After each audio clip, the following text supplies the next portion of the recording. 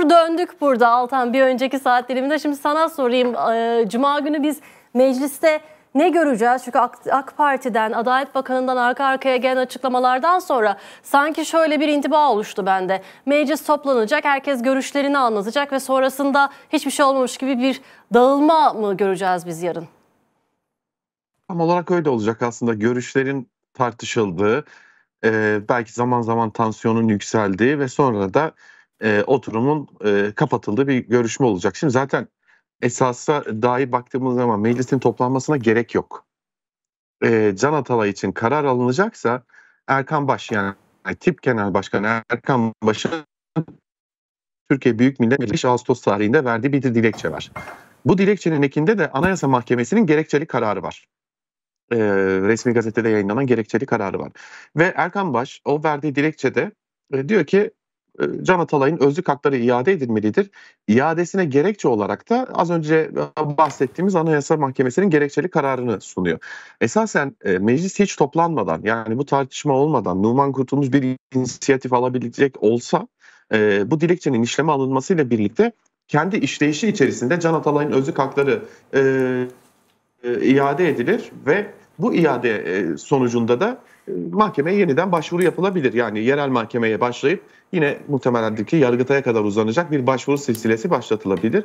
Biz Cuma günü sadece e, tartışmaların olduğu, MHP'nin katılmadığı bir oturum göreceğiz. Peki Bekir Bozdağ'ın e, Numan Kurtulmuş'un yerine vekalet edecek olması, oturumu onun yönetecek olması bu e, rutinde bir şey midir? Yoksa hani oradan da bir mesaj almalı mıyız? Hani böyle niyet okuması yapmalı mıyız? Ha yok yani buradan bir niyet okuması hani çünkü Bekir Bozdağ okumuştu kararı da.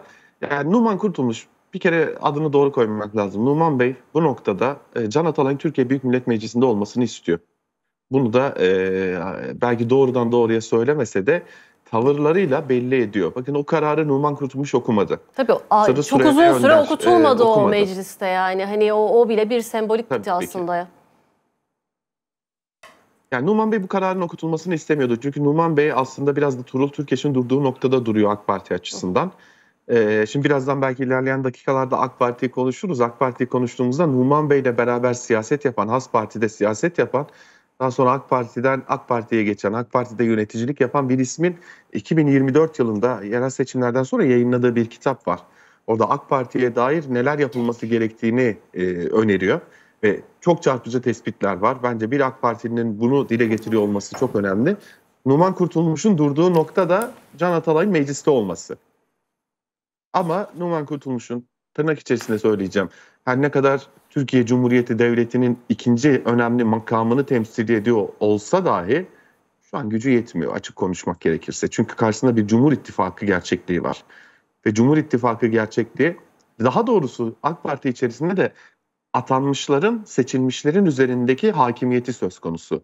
Numan Bey bir seçilmiş ama atanmışlar şu an itibariyle hem Cumhur İttifakı'nda hem AK Parti'de daha etkili oldukları için e, atanmışların dediği oluyor ve Cuma günü de bu gerçekleşecek. Ee, Bekir Bozdağ'ın e, başkanlığı ise aslında bir rutin içerisindeki işlem. Başka bir şey değil. Şunu da sormuş olayım hazır seni bulmuşken ben böyle arka arkaya yöneltiyorum ama yani mesela orada dedin ya Cumhur İttifakı'yla karşı karşıya Numan Kurtulmuş diye. O Cumhur İttifakı'nda mesela bir AKP MHP ayrışması var mı bu konuda yani hani MHP'nin tabii oturma katılmaması aslında bir gösterge ama hani AK Parti aslında MHP'den gelen bu direnç olmasa daha farklı bir politika izlerdi gibi bir yorum yapabilir miyiz mesela? MHP'den gelen dirençten ziyade Cumhurbaşkanı Erdoğan'ın verdiği karar önemli bence. Ya direkt ee, Cumhurbaşkanı, Cumhurbaşkanı Erdoğan. Erdoğan'dan diyor, diyorsun hani hiç. Elbette ki. Ya bakın AK Parti'deki temel ayrım şu. Ee, AK Parti'nin kuruluş yıl dönümünde gelen mesajlara da baktığımız zaman artık AK Parti büyük bir devlet organizasyonu haline gelmiş durumda. Yani e, devleti yönetmekle başlayıp devletin kendisi olma noktasına doğru gelen hani bu parti devleti demeyeceğim hani çok ağır bir ifade bu biliyorum ama e, partilerin yapısının bütün devletin kanallarına girmesi ve orada kadrolaşmasıyla karşı karşıyayız. Bu sebepten ötürüdür ki e, yani Cumhur İttifakı'ndan ziyade Cumhurbaşkanı Erdoğan'ın ne dediği önemli.